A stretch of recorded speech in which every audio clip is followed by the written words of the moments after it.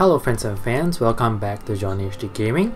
And today we are playing Civ 5, A Brave New World. This is of course a new DLC and I'm very excited to try it out because there are new additions to I think the culture, tourism and trade. So I'm gonna try out those aspects of the game. So I'm gonna set up a new game. And in our previous playthrough I played as Sweden and did the one city challenge I think I'm going to keep the rest of the um, options the same. I like to have 16 city-states. Alright, but I'm going to pick a new civ. And I'm going to pick, um, I think, Morocco. Because there is a lot of benefits to trading. To improvements in trading. We get like a little bit more gold and culture. Now there are some other new civilizations like this guy over here so for this guy, it's pretty powerful. I think it's very warlike, very military style because you gain a free technology when you conquer a city that is controlled by the owner. So this is a very powerful civilization. Alright, so this is something that I might give it a try, although I don't really play a very harsh military style. The other one that I really like is actually Poland, Casimir, because I get a free social policy when I advance the next era. So I think that should give me like um, 4 to 5 policies, which is something like a policy tree. So this would be very powerful if I'm trying to go for a, I think, cultural win. Alright. What else? Um, Venice. Venice is very interesting because we cannot gain settlers or annex cities, but we can actually have a merchant of Venice that can purchase populated cities, which means that the merchant of Venice that we get as a great people can get control of city-states. So that's pretty powerful as Venice. And this is Indonesia.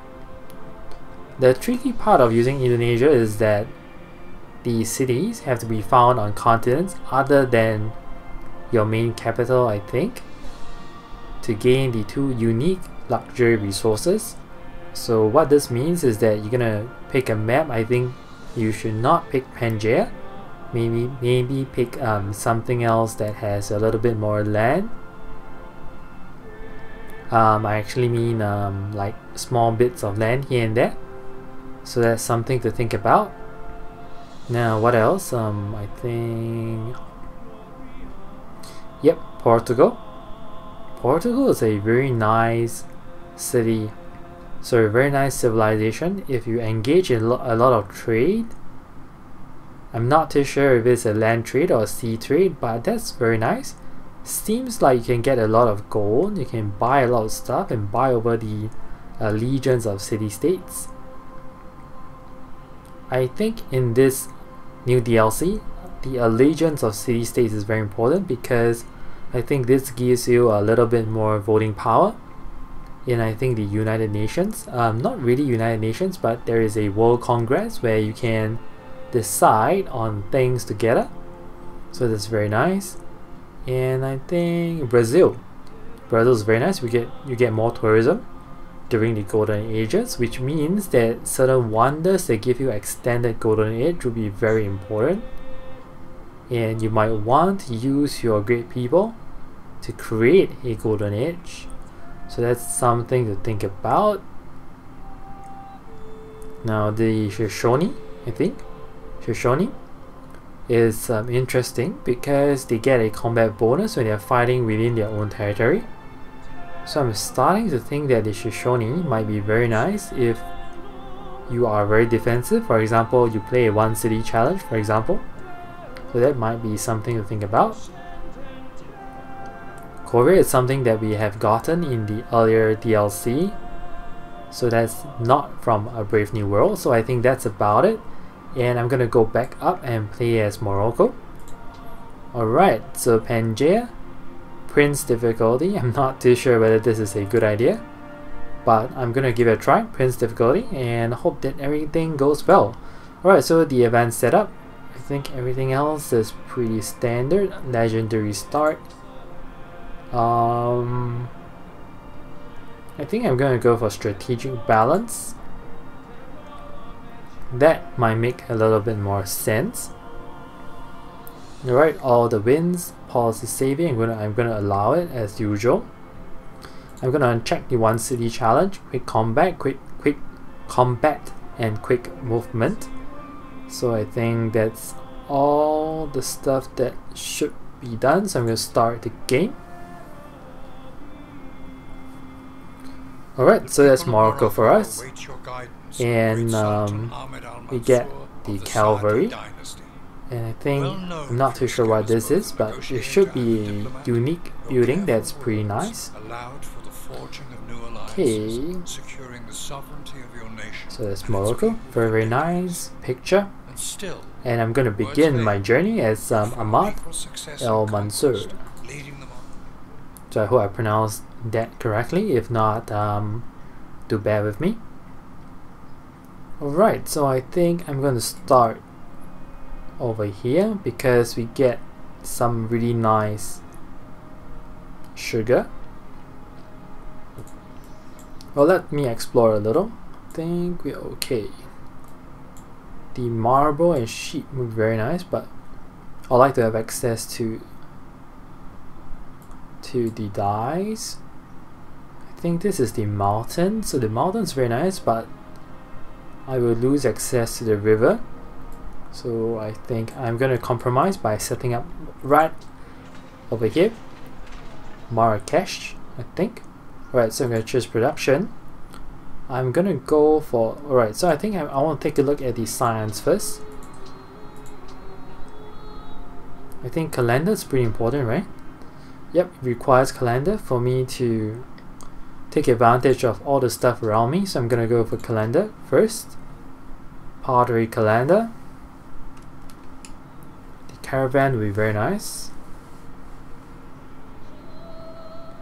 But I don't think it's the most important right now. The mausoleum is very nice because we get a hundred gold for each person, great person that's extend expanded. Alright, and I think we can make good use of the water mill. Alright, so I'm gonna go, go for calendar and perhaps I think riding, then the wheel. Well, okay, so let's keep it as such for now and maybe tweak it around later. So I think, give me a moment, I think just double check 26 turns to get the calendar so there's no point to rush getting the worker. I'm gonna get the monument perhaps. Alright I'm gonna get the scout first to help me find people to trade with then get the monument.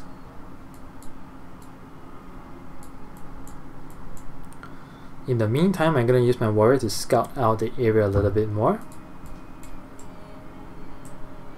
Alright, so we found a natural wonder.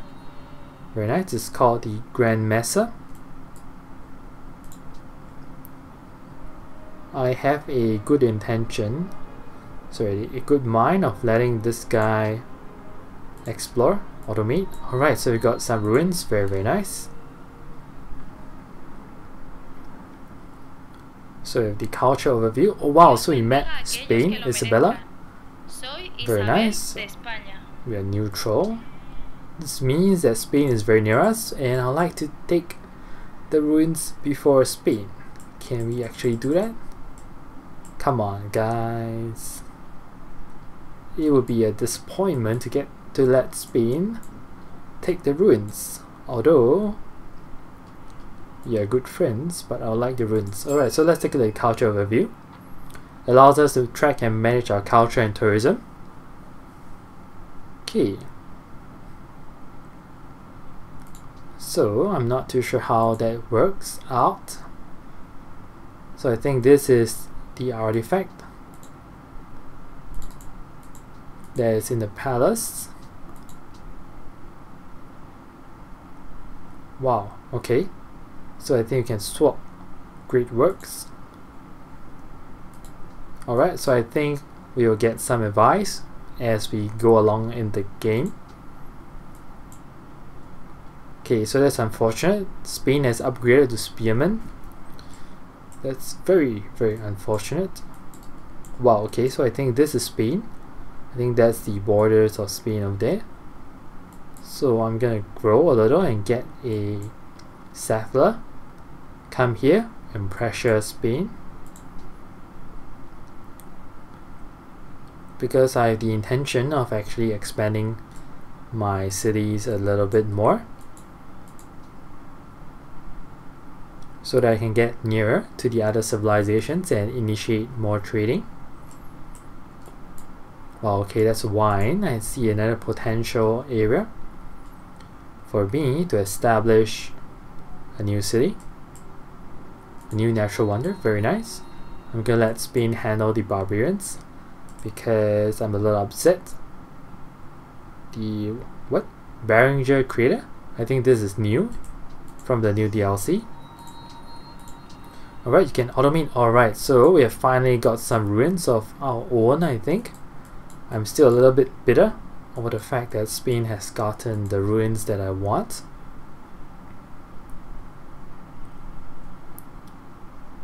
Okay. Location of nearby encampments, that's not really something that I want a lot. Oh wow, but we have found a city-state. So that's something to be happy about, I guess. Shrine shrine would be nice. Um, okay, so that's the water. I'm actually going to explore this way.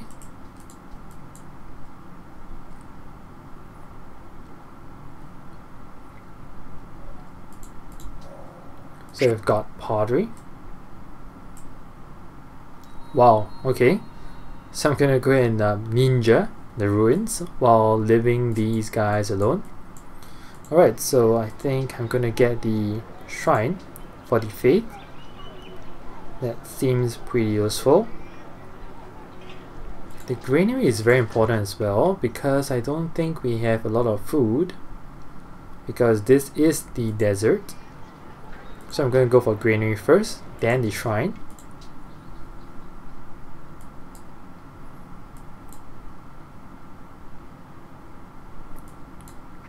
um, Archer. Interesting. So it seems like our guys were upgraded.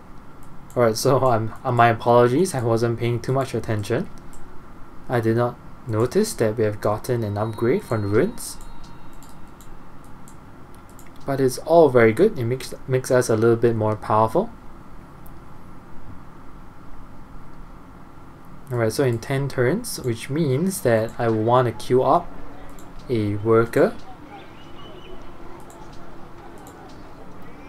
after the monument.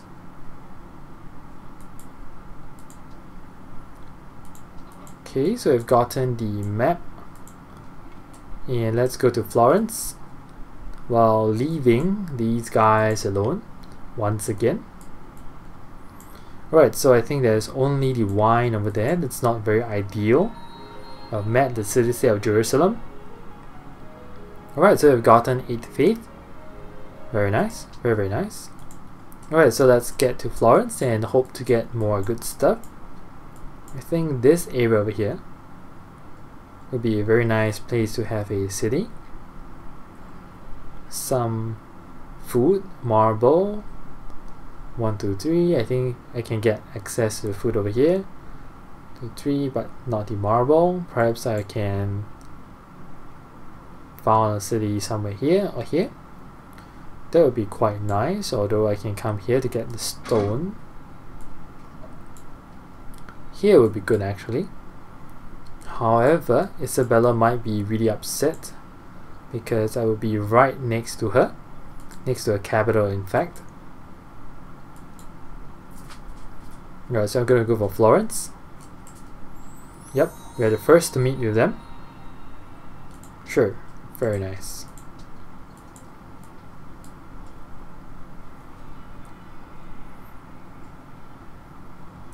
Okay, at the moment we are the last. Although, I think we are fine. Oh wow, so we have met console, Maria 1 of Portugal. Very nice.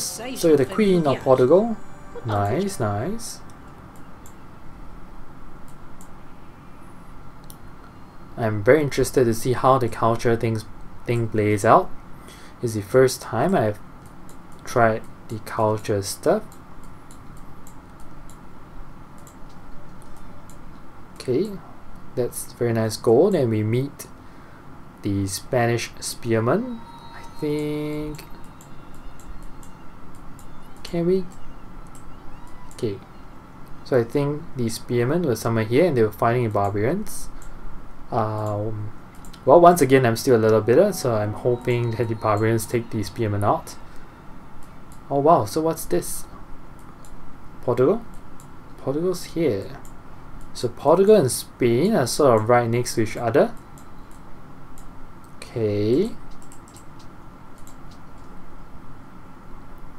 five more turns from to Calendar, you're protecting Florence.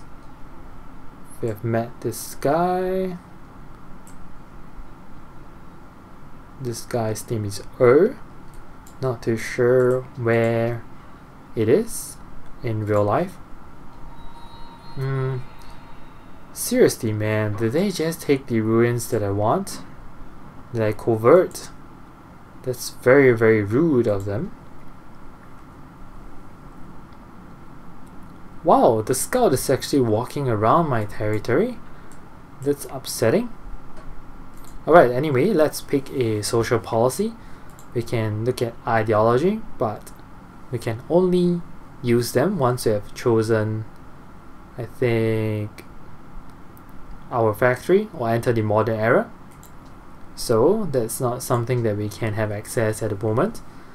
So what's interesting is that, you know, um, the social policies right now is pretty important because let's take a look at the technology tree. For example, if we would like to build the pyramids, for example, it says that requires liberty. So the new DLC actually imposes some sort of um, constraints where you have to have the necessary social policy before getting access to the world wonders that you want.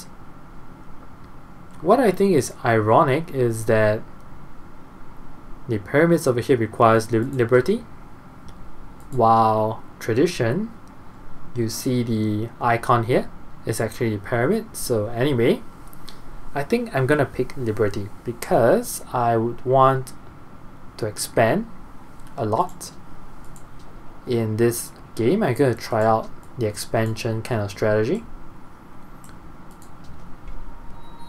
Okay, so let's continue. Continue exploring. I think I'm gonna get my archer to come back via this route. Oh wow, so my archer's getting hit. Um, that's not ideal because I do not suppose the Spanish guys would save me.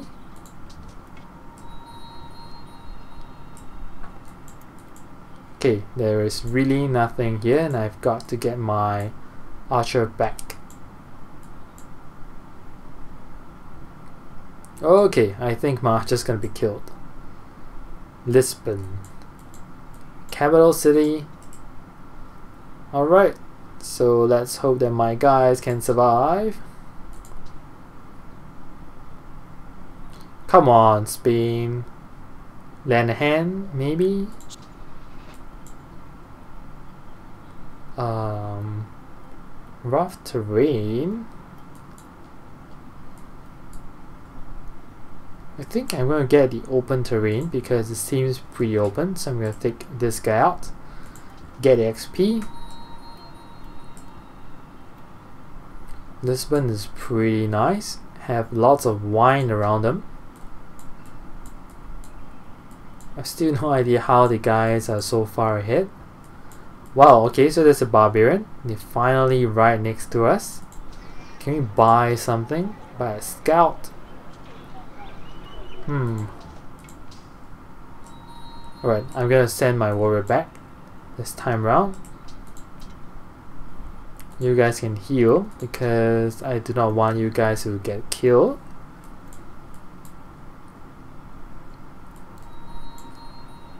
Alright, so let's do this, damage them while letting two of them fight, is, fight each other. So let's come here.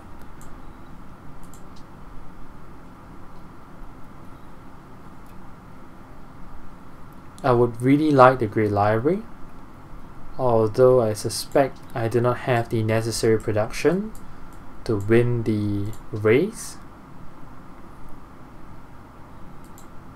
Okay, um, not social policy is the demographics. We have a lot of population, crop yield, but our manufactured goods is um, not too nice we do not actually have the hammers because the area around us do not have very good production. Let's take a look at the yield icons. Yep, so as you can see, very little hammers, lots of growth. So that's not very ideal to chase wonders, so I'm not gonna give it a try. I'm gonna pass on the wonders. Until I can find a city that can give me an edge. Wow, seriously, they do not fight each other.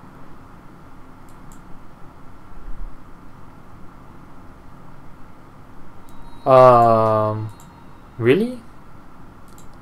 Is this gonna be a very short playthrough?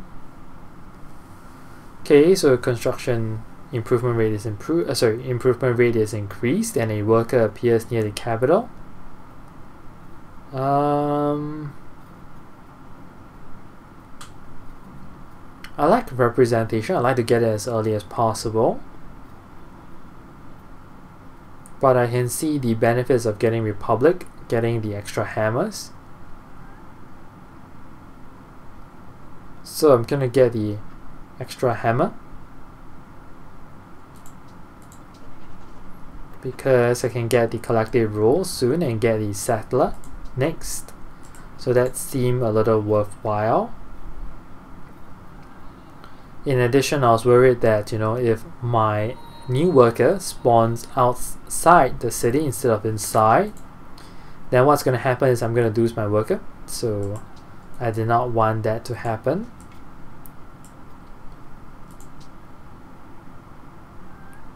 Alright, so we're now not the last Civ in the game, so that's very comforting.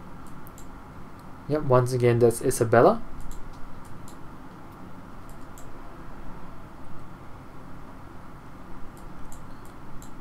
So our archer is nearly nearly okay. Um, let's attack you. Can we? Oh, yep, we can. Now let's come back because we need to protect our worker who will be ready in three turns.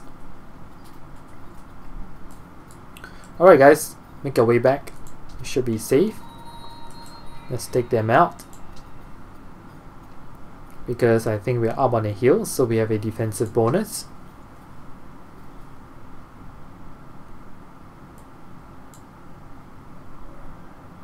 Right, so we have riding and let's take the open terrain bonus and take it, them out and do Spain a service.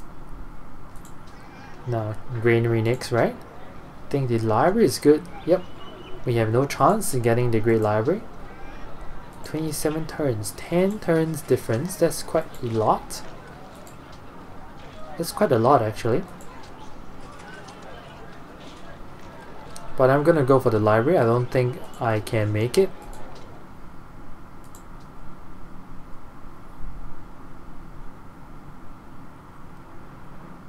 So I'm gonna aut automate my worker because I think what's important is to get mining to get production. Bronze working as well. There are a lot of stuff that I really want and it's making very difficult for me to come to a decision. Archery is good, the Temple of Artemis is very nice, but it's not critical, so I'm not gonna rush it. having animal husbandry is always very nice. So I'm gonna go animal husbandry, then masonry, bronze working. So let's hope that it plays out. So we're gonna heal.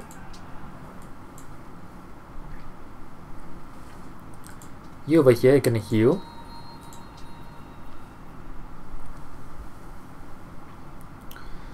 Okay, so I think I can hook up some of these resources over here.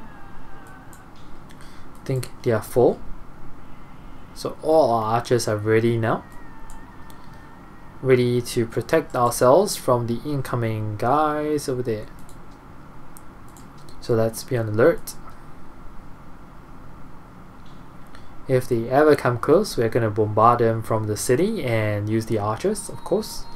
Marrakesh has grown, very very nice. I'm starting to think that a granary is not very necessary. Because we have a lot of food around the area. But you know um, since we have started on it we might as well continue. Alright so we can construct a caravan then we can trade with someone else I think the nearest person to trade would be Barcelona and that would be Spain However, my concern is that I don't think Barcelona is the first city, right? I think the capital city is over here, so that's Scout. So that's the capital city. Alright, so as I was saying, I think trading in Spain is viable, but it's very unsafe because there are barbarians over here and my caravans may get ambushed and taken away from me. So that's something that I'm mindful of. But at the same time I'm getting a little desperate because I'm right at the bottom. Okay so let's continue to explore. That's Madrid. So Madrid is the capital city of Spain. Alright come on guys. If you guys ever step on my dice you guys gonna um, hopefully get slaughtered by me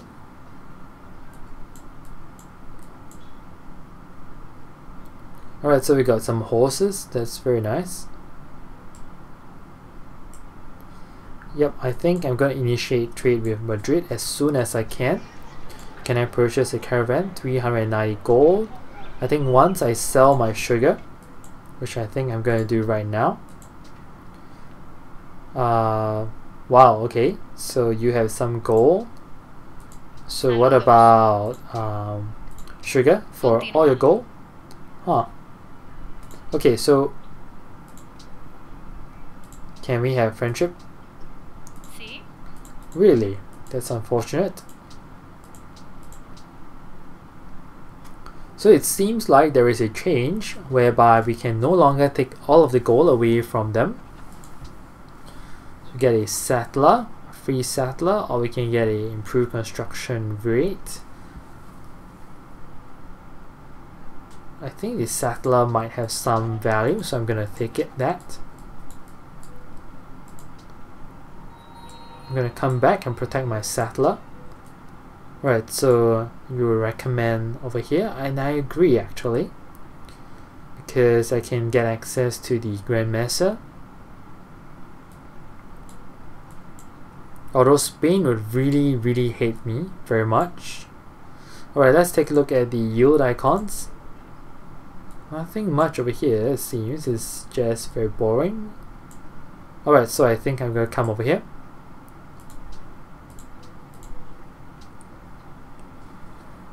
Accept embassy? Sure, I'll take that. You want a great prophet? So do I actually. Okay, come on down. Oh wow, okay, I'm gonna I need to protect my guys over there seems like a terrible idea to have, you know, a city over here. I'm not too sure if Spain will trade with me because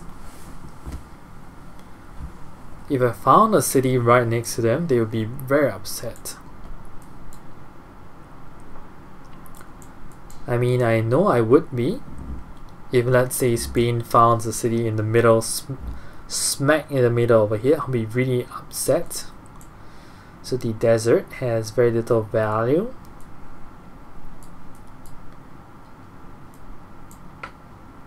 Over here is actually very nice because you can get access to a lot of stuff